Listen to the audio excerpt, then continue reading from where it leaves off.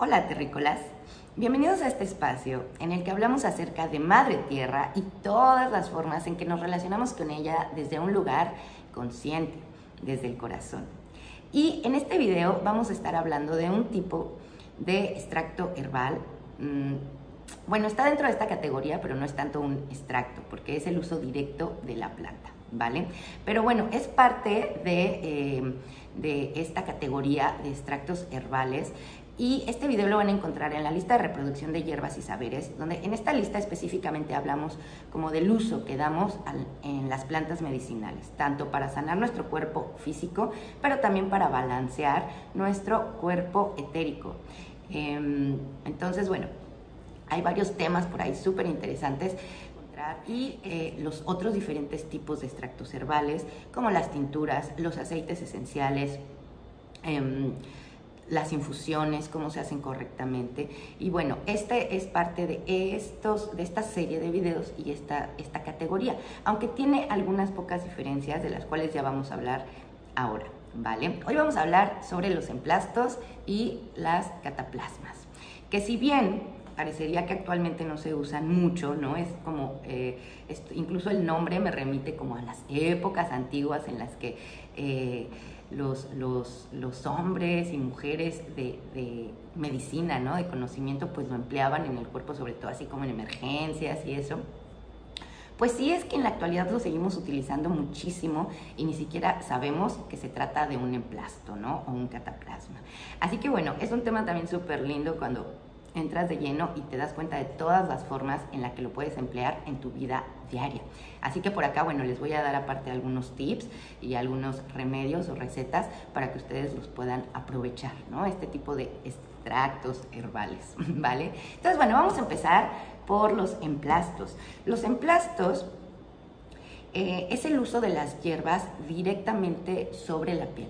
Puede ser tanto frío como en caliente. Em, la manera en la que los, en, que los eh, emplastos se usan, pues es machacando la planta. ¿Qué es lo que pasa? Que cuando tú machacas la planta, así como que en un mortero que la, que la machacas, ¿no? En algún mortero más grande como los molcajetes, ¿no? Que tenemos acá en México. Cuando tú machacas la planta, pues la planta saca todos sus aceites esenciales y sus principios activos. Por eso este tipo de emplasto sobre todo es para el cuidado de nuestro cuerpo físico, ¿no? Sobre todo. Pero bueno, siempre trabajamos como en estas dos, en estas dos formas, ¿no? Eh, también con, con, con las energías de la planta también es maravilloso. Este tema, vean por ahí otros videos que tenemos en el, en el canal. en fin, bueno, cuando ustedes machacan la planta, pues la planta saca sus principios activos, saca sus aceites esenciales y se ponen directamente sobre la piel y entonces como ya los extrajo, ¿no? bueno, como ya salieron, pues va a causar un efecto muy potente y directo sobre la piel. Entonces, eh, este tipo de, de uso, pues es cuando tú tienes alguna herida, alguna cicatriz, quemadura, em, eh, sí, ¿no? Que necesitas como cicatrizar o sanar o evitar alguna infección o también cuando tienes alguna irritación y, te está causando comezón o, eh, erupciones, ¿no? Entonces también, si hay pus, también para sacarla, todo depende del tipo de plantas medicinales que ustedes usen. Acá, bueno, no vamos a hablar de todas las plantas medicinales, por acá tenemos ya información en el canal de diferentes plantas medicinales, eh, pero bueno, vamos a hablar de la forma de uso. Entonces, por ejemplo, si ustedes tienen alguna herida, pues pueden usar plantas medicinales que sirvan, que sean bactericidas, que sean analgésicas, porque también sirve para los dolores, aunque bueno, tienen diferentes formas de uso. Cuando el tipo de herida o, malestar que ustedes quieren curar tiene que ver con cicatrización o con esto que les decía, ¿no? Como salpullido o alguna quemadura, pues vamos a usar la planta en frío. Se usa la planta en frío, la machacan y ponen directamente la pastita que sale, porque va, va a sacar, la planta va a sacar sus aceites, entonces les va a quedar como una pastita y esa pastita la ponen directamente sobre la piel, ¿no? Es como muy, em, precisa. La ponen sobre la zona afectada y ahí la dejan por un tiempo y después enjuagan. Este tipo de emplastes ustedes lo pueden ver como en las películas, ¿no? Antiguas, así cuando hablaban este, las películas sobre los druidas o, las brujas o los brujos, ¿no? O también eh, los musulmanes, por ejemplo, en, eh, ellos también tenían muchísimo conocimiento acerca del uso de plantas medicinales. Entonces, machacaban las plantas cuando tenían alguna herida y la ponían, ¿no? También puede tener usos en la boca, por ejemplo, si tienen alguna molestia en las muelas, pues pueden machacar este clavo con menta y, poner un poco también de, aceite de coco. Entonces hacen esta mezcla y la pueden poner directo sobre eh, las muelas, ¿no? Si tienen algún dolor, si tienen alguna herida, alguna llaga, siempre por supuesto cuidando que sean plantas que no sean tóxicas, pero bueno, la verdad es que la mayoría de las plantas a las que tenemos acceso son bastante dóciles, ¿vale? Entonces se puede usar de varias formas, sirve para los hongos también, en la piel, este, y bueno, como tiene un montón de usos, ¿no? Entonces, bueno, ustedes pueden ver esto. Acá en México también se usaban, hay, hay en, las cartas, por ejemplo, de Hernán Cortés, hay algún escrito donde pide a los, a los reyes españoles que ya no manden médicos porque con los médicos mexicas era suficiente, ¿no? Eh, y esto viene después de un relato de una guerra que hubo y entonces un tuvo una herida en la cabeza y un médico este, acá en México pues lo curó con plantas, ¿no? Le puso como un emplasto sobre la herida en la cabeza y se sanó. Entonces también, dependiendo de las plantas que usen, pues es cicatrizante. Entonces, bueno, hay como, como un montón de registros en la historia en los que usamos este tipo de emplastos, ¿no? Y lo podemos ver un montón en las películas antiguas y todo eso. Y bueno, nosotros básicamente empleamos emplastos todo el tiempo en nuestra vida, ¿no? Porque otro tipo de emplastos es no machacando eh, las hierbas. Un tipo de emplasto también, por ejemplo, es la sábila. También puede ser, como les decía, en caliente. Cuando tú pones la sábila que le cortas, le, cortas una cara de, de la piel gruesa que tiene, y la pones sobre, sobre un sartén o un comal y lo calientas y luego la pones directamente sobre la herida. La sábila tiene muchísimas propiedades bactericidas, desinflamatorias, analgésicas, eh, cicatrizantes, es muy buen cicatrizante, es muy buen antioxidante, entonces ayuda a la regeneración de la piel pero cuando se usa en caliente también sirve muchísimo para los dolores. Entonces, este tipo de emplastes también sirven, por ejemplo, para los dolores abdominales, en el vientre, por ejemplo, o si tú tienes alguna indigestión y te duele el estómago, pues también puedes poner la hierba caliente sobre tu estómago, ¿no? Para aliviar el dolor cuando son plantas analgésicas. Recordemos que nuestro cuerpo, que nuestra piel, es un órgano, es el órgano más grande que tenemos. Entonces, cualquier cosa que nosotros pongamos, pues el cuerpo lo va em, a, absorber. ¿Vale? Entonces, por eso es que estos emplastos funcionan también, sobre todo cuando es directamente sobre una herida, porque bueno, si la herida está abierta, pues obviamente se va a, a absorber pues muchísimo más rápido. Entonces, por eso también hay que tener precauciones en que el tipo de emplasto que vayamos a usar no sea tóxico o no nos vaya a causar alguna alergia cuando tenemos piel sensible o somos alérgicos a algún componente, ¿no? Em, y bueno, cabe mencionar acerca, les quiero mencionar acerca del ajo, porque el ajo, a pesar de que es un muy buen antibiótico y sí se puede usar muchísimo para este tipo de emplastes, también es anticoagulante. Esto quiere decir que retrasa la cicatrización.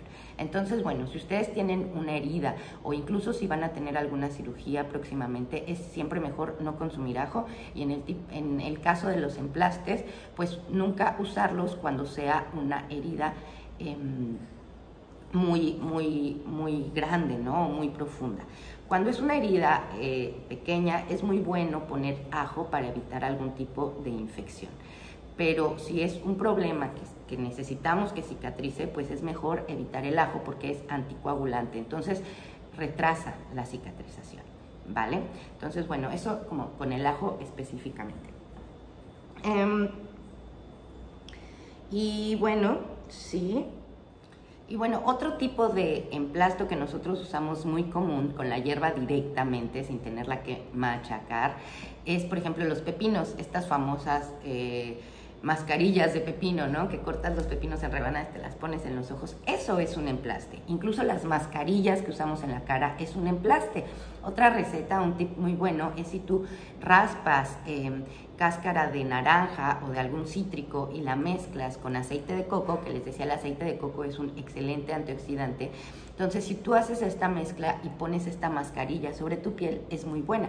También los exfoliantes, cuando pones a esto, si le agregas eh, sal de grano o, o tierra, este, sí, como arcilla, y lo usas para exfoliar tu cuerpo, esto también vendría siendo como un emplaste. ¿No? Entonces, como ven, nosotros seguimos usando los emplastes actualmente en muchísimas este, ocasiones y bueno, a veces ni siquiera sabemos que estamos haciendo un emplaste, ¿vale?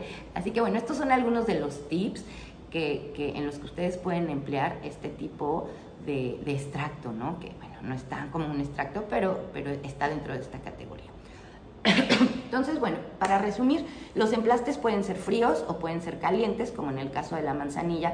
También hay otro tipo de hierbas eh, de hoja grande, por ejemplo, como, como la hoja de plátano o así, que también tiene muchas propiedades medicinales y que también sirve para calentarla y ponerla directamente sobre alguna parte del cuerpo.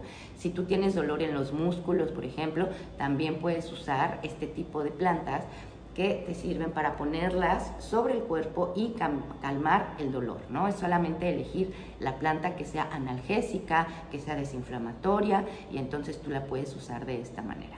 Hay una gran variedad de plantas, es muy fácil encontrar información sobre eso ahora. Igual acá en el canal, justo en este momento estoy preparando y grabando una serie de plantas medicinales también bien interesante. Entonces, bueno, por ahí van a poder encontrar un montón de información, ya sea acá conmigo en todos este, los demás recursos que tenemos actualmente. Pero bueno, el, punto es ese.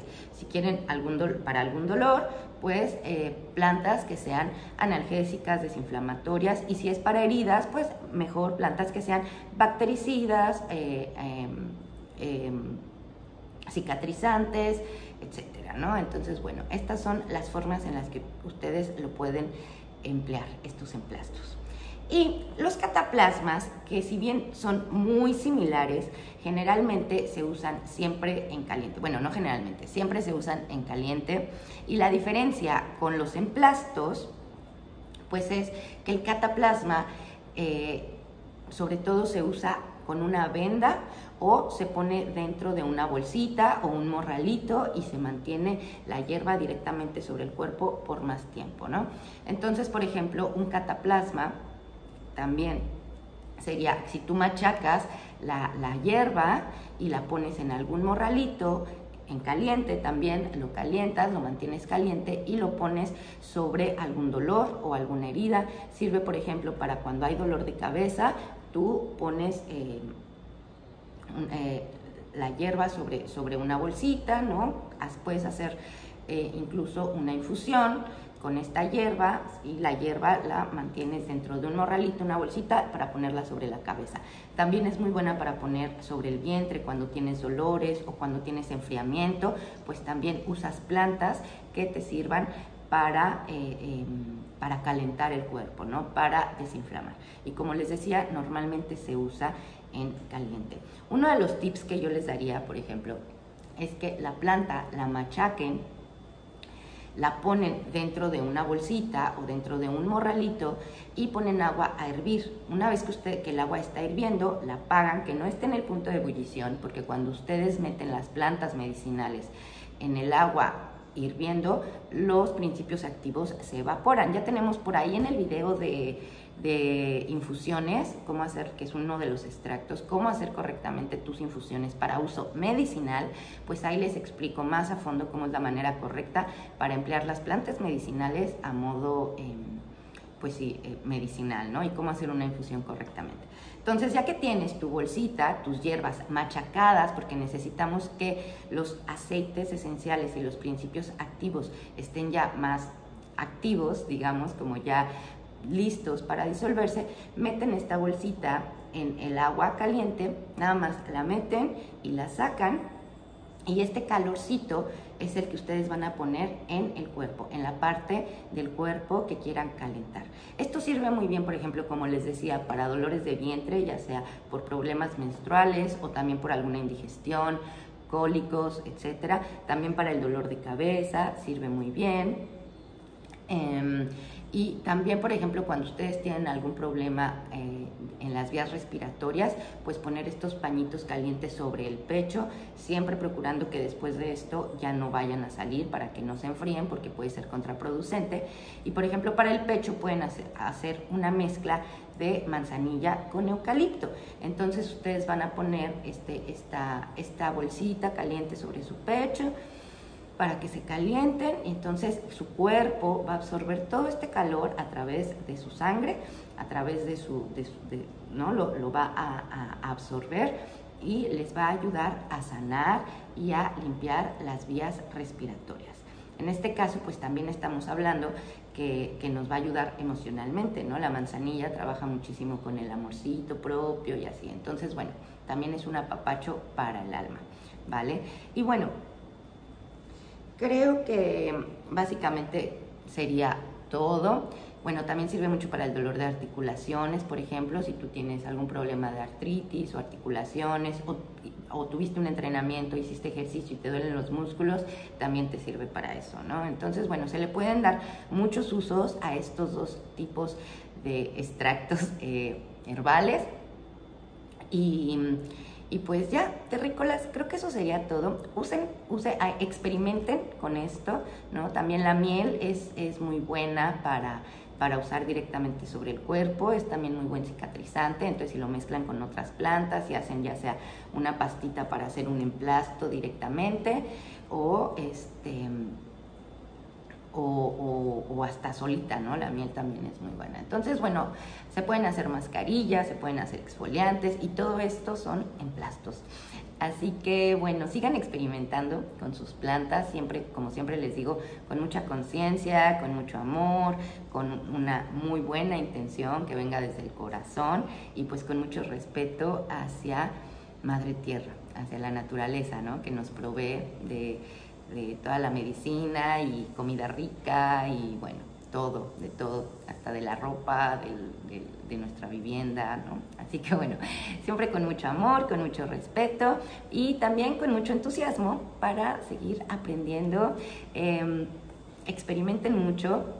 En la medida en la que ustedes van experimentando más hacer este tipo de, de remedios, pues van eh, teniendo más conexión con la tierra y hasta les pueden eh, llegar algunos mensajes de cómo usar las plantas, ¿no? Y échense un clavadito al canal, por acá tengo videos muy bonitos también sobre cómo conectar con el mundo de las plantas medicinales, cómo recibir sus mensajes y pues mucha otra información bien valiosa que les hago con mucho amor para que sigamos em, pues acercando ¿no? este conocimiento a la mayor cantidad de personas posibles. Así que bueno, terrícolas, les amo mucho, disfruten este, estos tips.